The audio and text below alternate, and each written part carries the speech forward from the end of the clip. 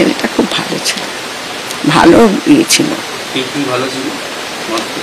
না আগে মটটপ খেত না। স্কুল যে খেলাতে যেত স্কুলে যেত খেলা বক্সিংয়ে যেত বাড়িতে আসতো। পুজোর ছুটি পড়লে ওই রঙের দোকানে কাজ করত। ওর নিজের মধ্যেও খালি যেমনি আসতো চলে যেত কাজ ও বলে পুলিশ আছে পুলিশ আছে এইটাই। নিয়ে আসতো? ও একটা মানে আগে ওর একটা বাইক ছিল ব্লু কালারের পালসার। ওয়ান ওয়ান এইট্টি ওইটাই ছিল ওর কাছে। হ্যাঁ না হ্যাঁ পরে একবার আমি দেখলাম একবার পাছি নিয়ে এসছিল হোয়াইট কালারের দাঁড়িয়ে ছিল এখানে। আমরা তো কথা বলি না আমি বায়ার করে। হ্যাঁ আপাচিতে তো পুলিশের গাড়ি। লেখা ছিল ক্যালকাটা পুলিশেরই তো গাড়ি ছিল আপাচি হ্যাঁ কেপি লেখা ছিল ও লোগো বানিয়েছিল। আসতো না খুব একটা? আট ন মাস আগে আসতো না। ও আসতো না সবার কি টাকা পয়সা নিয়ে গেছিল? আমরা তো সব কাজে থাকতাম যখন আসলাম তখন শুনলাম কি পয়সার এই পয়সা ওর পয়সা নিয়ে। ভয় দিয়ে আসতো এই সঞ্জয় হঠাৎ এরকম এরকম ঘটনা ঘটালো যেটা আপনি নিশ্চয়ই শুনেছেন যেটা এখনও পর্যন্ত তদন্ত করে উঠে এসেছে। আপনারা কখনো বিশ্বাস করতে পারছেন? আমরা আমরা নিজেরাই বিশ্বাস করতে পারছি না দাদা এরকম করেছে। ও করে থাকে এরম। ও ড্রিঙ্ক করতো ওর সাথে আমরা কোনো সম্পর্ক রাখিনি। ওর সাথে আমি বলে দিয়েছিলাম আমার বিয়ে হয়ে গেছে। আমি বললাম তোর সাথে আমার কোনো সম্পর্ক নেই। তো ও ইনফ্যাক্ট ঘরেও থাকতো না। ও আসতো যেত আসতো যেত ড্রিঙ্ক করতো। সেই জন্য ও একবারে নিজেই বলল আমি আর এই ঘরে আসব না আমি এই ঘরে থাকব না। তখন আমরা মাকে নিজে দেখাশোনার দায়িত্ব আমরা বোনরা নিলাম আমরা বোনরা মিলে মাকে দেখাশোনা করতাম। এমনি কেমন ছিল সঞ্জয়?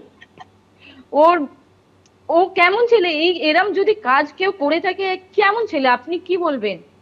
ওকে আমরা বাজে থেকে, কঠোর থেকে কঠোর শাস্তি দিতে চাইলে আপনারা দিন যা ইচ্ছে করুন, কিন্তু দেহ পর্যন্ত দেবেন না। এতটুকু আপনাদের রিকোয়েস্ট করলাম। কেন এমন মানুষের সাথে কোনো সম্পর্ক রাখা যায় না?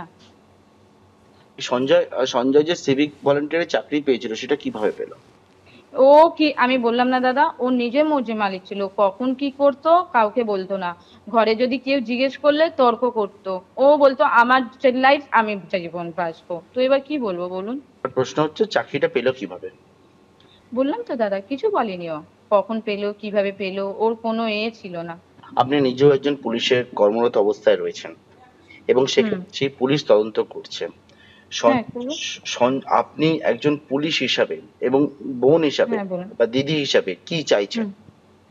ও শাস্তি হওয়া চাই কঠোর থেকে কঠোর শাস্তি হওয়া চাই আর সঞ্জয় সঞ্জয় যে চাকরিটা যে করছিল পুলিশের সেটা জানতেন? মানে এমনি জানতেন যে কেমন ছিল? কোন রকম ভাবে শুনতে পাচ্ছি যেটা বিষয়টা। সেটা হচ্ছে ডোন্ট কেয়ার মনোভাব ছিল। কাজেও খুব একটা যেত না। কোনো একটা আমরা এই বিষয়ে কিছু জানি না। ও কি পুলিশের একটা মোটর বাইক দিয়ে আপনাদের ওখানে যেত বলে এলাকার লোকেরা বলছে কলকাতা পুলিশ লেখা হ্যাঁ হ্যাঁ হ্যাঁ মোটর বাইক নিয়ে যাওয়া আসা করতো। ওকে অনেক সময় জিজ্ঞাসা করা হয়েছিল এটা কার ও বলতো আমার অফিসের আছে। কেপি লেখা। হ্যাঁ কেপি লেখা দাদা এটা ঠিক। আমাদের যখন বলেছিল তখন আমরা বলে দিয়েছিলাম যে দেখুন আমরা তো এসব কিছু জানি না আর আমাদের আগে জানাইনি। যখন আমরা জানতে পেরেছি তখন ওকেই আমরা ও আমাদের সাথে সম্পর্ক ছেড়ে চলে গেছিল। কোন থানার সঙ্গে ও বেশি যাতায়াত ছিল বা ছিল কি জানেন আপনি? না কিচ্ছু জানি না। এমনি কি জানতেন? মানে সিভিক হয়েছে সেটা জানতেন?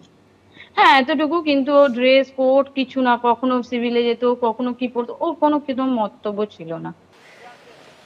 একবার এই প্রশ্নটাই তো বারবার করে উঠছে এবং যেটা উঠছে প্রশ্নটা সেটা হচ্ছে পাড়ার প্রতিবেশীরা তারা জানেন সেভিং ভলেন্টিয়ারের কি কীর্তি রয়েছে। এলাকার লোকেদের থেকে টাকা নিয়েছে চাকরি দেওয়ার নাম করে গতকালকে সামনে এসেছিল, পরবর্তীকালে কিন্তু সেই চাকরি দেয়নি এবং এক- একের পর এক মানুষ বলছেন তাদের কাছ থেকে টাকা নিয়েছে, তার জন্য সে এলাকায় আসা বন্ধ করে দেয়। কিন্তু পুলিশের কাছে কোনো অভিযোগ হয়নি। কিন্তু একজন যে পুলিশের যে ফোর্সের সঙ্গে যুক্ত রয়েছে একজন, তার ব্যাপারে কোনো খোঁজ খবর থাকবে না? তার ব্যাপারে কিছু জানতে পারবেন না? তিনি কাজে পর্যন্ত যেতেন না নিয়মিত। তাহলে এই বিষয়টা কেন হতো? দিনের পর দিন ধরে সরকারি বেতন পাচ্ছে একজন সিভিক ভলেন্টিয়ার হিসাবে কিন্তু কাজে যায় না। কোথায় যায়? না সংগঠনের কাজে যুক্ত রয়েছে, সেবামূলক কাজে। কিন্তু তেমনটা তো হওয়ার কথা নয়। এবং কি জানা যাচ্ছে, নিয়ম ভেঙে ব্যারাকে থাকছে। তাহলে কেউ কোনো কিছু কোনোদিনও জানায়নি কেন? সুপিরিয়ারদের বা সুপিরিয়াররা কোনো ব্যবস্থা নেয়নি কেন? এই প্রশ্নটাও বারবার করে উঠতে শুরু করছে। যে প্রশ্ন উঠছে সেটা হচ্ছে, একজন মোটর বাইক নিয়ে তিনি ঘুরে বেড়াতেন এবং পুলিশ লেখা। সেই মোটর বাইক থাকার কথা না তার কাছে। সিভিক ভলেন্টিয়ার কাজে যাবেন, কাজের জায়গায় যাবেন, প্রয়োজন হলে সেখানে যে মোটর বাইক থাকবে, সেই মোটর বাইক নেবে, কাজ করবে, তার পরবর্তীকালে বেরিয়ে যাবে। সবসময়ের জন্য তার নামে মোটর বাইক অ্যালার্ট হলো কীভাবে? তার, এই প্রশ্নটাও কিন্তু বারবার করে উঠছে। এবং সেখান থেকে এই সংগঠনের সঙ্গে যুক্ত হওয়ার পরেই তার যে প্রভাব, সেই প্রভাব প্রতিপত্তি এবং বিভিন্ন জায়গায় অবাধ বিচরণ, এই বিষয়টাই সামনে আসছে। পরিবার, পরিজন জানাচ্ছে যে তার এই যে কীর্তি মদ্যপান করতো, দিনরাত নেশা করে থাকতো, সেই বিষয়টা তারা জানতে পারছেন এবং তার পরবর্তীকালে কেউ কিছু জানতে পারল না যে একজন এই রকমভাবে দিনের পর দিন সিভিক ভলেন্টিয়ার সে এই রকম কাজ করছে। এই বিষয়গুলো নিয়ে কিন্তু বারবার করে আবারও একবার প্রশ্ন উঠছে।